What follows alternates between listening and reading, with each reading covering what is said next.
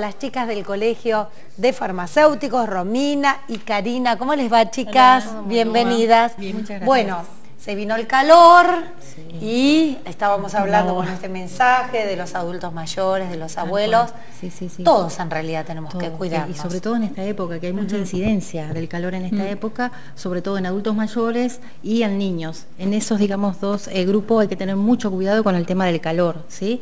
Porque uno de los eh, síntomas que puede llegar a producir el exceso, digamos, eh, de calor o estar muy expuesto es la deshidratación. Lo primero que pasa en bebés y en adultos mayores. Claro, los bebés no piden. Los adultos no, no se dan No cuenta. tiene- claro, no se dan cuenta, entonces uno de los síntomas que viene, digamos, es la deshidratación, ¿sí? Otros factores que ¿Qué pueden hacemos? llegar Estamos con una botellita como para medir, poner, Sí, para sí, medir sí. a ver Sí. cuánto tomó. Es, Es una, una buena, ma- una buena técnica, sí, Sí. poner una botellita de 2 litros, de 3 litros en la heladera y, y ahí A ver es una, buen- una buena medida.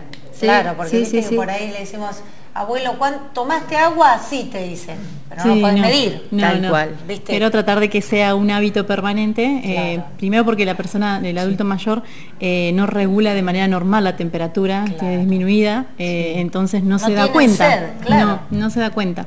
Eh, Tratar de no exponerse durante las horas de mayor calor, Ajá. estar afuera, sino tratar de refugiarse. No hacer actividad física para los más jóvenes eh, en las horas picos de mayor incidencia de calor, eso también es, es importante.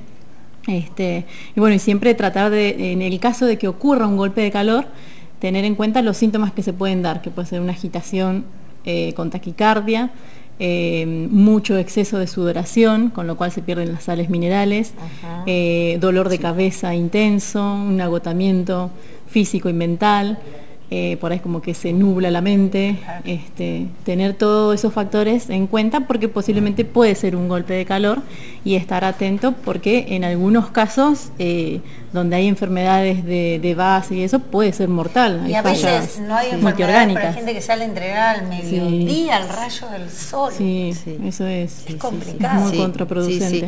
Tiene que estar muy bien hidratado, pero en lo posible cambiar de horario, porque ese horario es tremendo. Es tremendo porque uno está en actividad física, más eh, los rayos del sol es como que aumenta demasiado la temperatura. Y eh, si supera los 41 grados, la temperatura térmica, digamos, corporal, eh, puede ya empezar con una falla multiorgánica. Bien. Sí. ¿Qué pasa con el cuidado de, de la piel? Y de la piel uno tiene que tener cuidado, uno tiene que hacerse a la idea eh, de que usar protección solar durante todo el año es lo más recomendable. Uno ni bien se levanta tiene que tener el hábito de aplicarse el protector solar, Ajá. porque mucha gente cree que aplicándose un protector solar no se va a quemar. No, y es todo lo contrario. Claro. Uno aplicándose el protector solar hace que no se dañe la piel.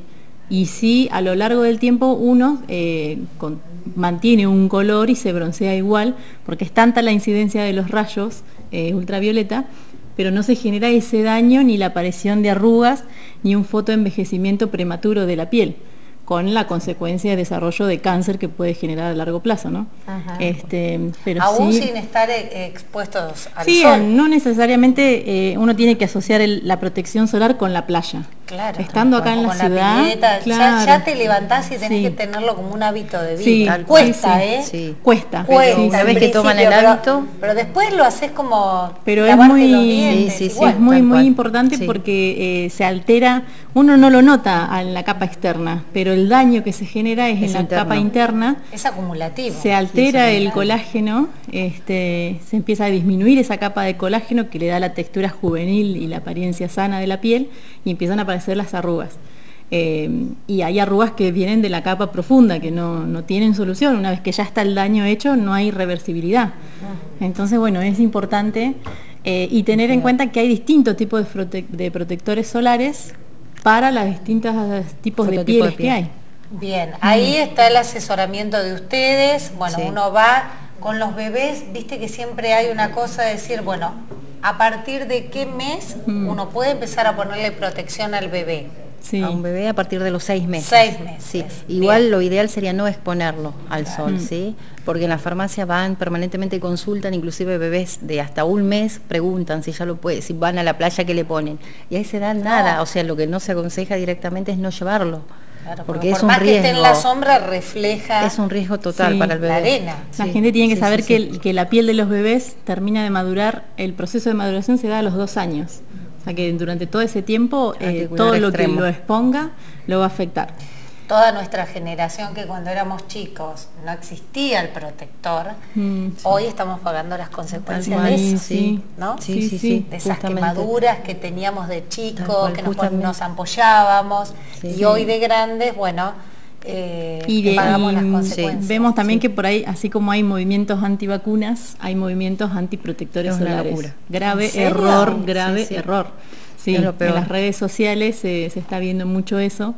Entonces le pedimos a la gente que se asesore, eh, que realmente consulte Claudio acá estaría con un profesional. cosas que replican sin saber si es verdad. Es que tienen tanto poder las redes que se van multiplicando y desgraciadamente uno ve casos de quemaduras importantes en la farmacia y hay que decirle, mira, anda un médico porque es una quemadura, no, no es una cosita así nomás. pero por el tema de largo plazo. Es a largo plazo. Eso es lo más complicado y grave. así Que, Chicas, agradecerles mucho esta visita como siempre, bueno, y a, tomar conciencia, a prestar atención, eh, todo, todo es en pos de nuestra salud.